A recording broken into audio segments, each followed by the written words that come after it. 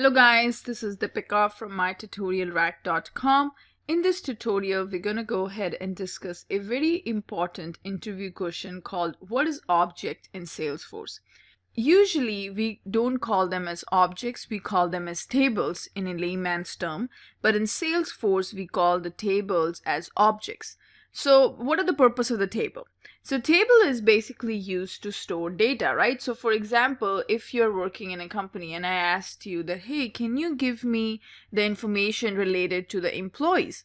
So without talking about database and anything, what you're going to do is you're going to go ahead and open an Excel sheet and you're going to go ahead and create some columns. And based upon what data I'm looking for, you're going to go ahead and create columns like their full name, then there will be a column for their address then the column would be there for number of years of experience etc and then the salary let's say so these are the information that you're going to capture and then you end up creating this table in which you have added these four columns. Similarly in salesforce we call them as objects. And uh, just like in a table we have rows and columns.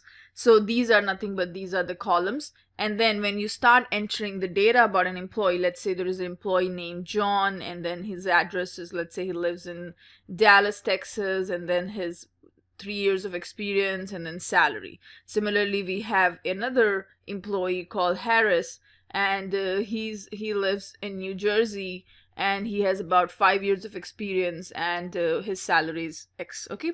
So these are nothing but these are called as the rows and uh, all the different these are called as the columns so in salesforce what we do is in salesforce we do not call them as rows and columns so in salesforce we call the tables as objects in salesforce and the, these are called as objects in salesforce and similarly the columns are called as the fields in Salesforce. And the next thing that we have is the rows are called as records in Salesforce. So these this is the nomenclature we follow in terms of Salesforce. So table is called as object, columns are called as fields, and rows are called as records. Now we have two different types of objects in Salesforce. One we have is a standard object, the other one is called as a custom object. Now, what is a standard object? So standard object is the predefined object, which has already been given to you when you create a developer's account.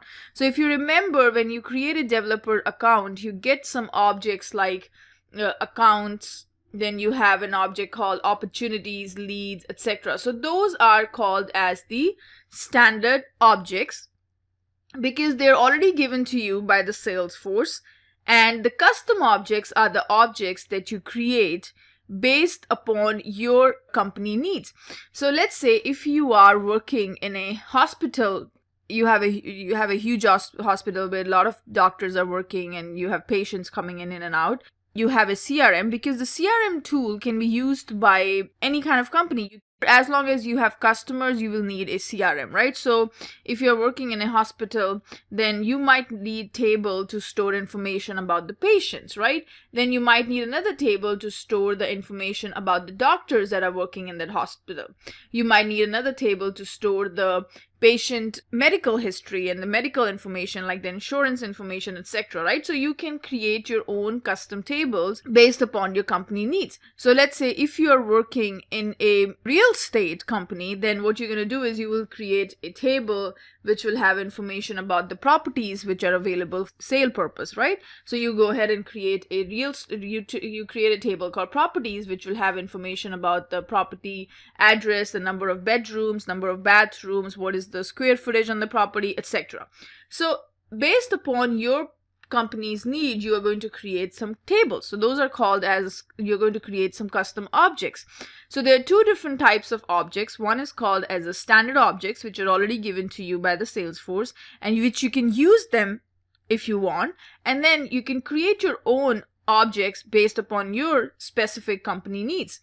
So as per the definition here, custom objects are the database tables which allow you to store data specific to your organization in salesforce.com. Now you can also use custom objects to extend the salesforce.com functionality or you can build new functionality. So Now, for every custom objects, there are two different kinds of fields that are available.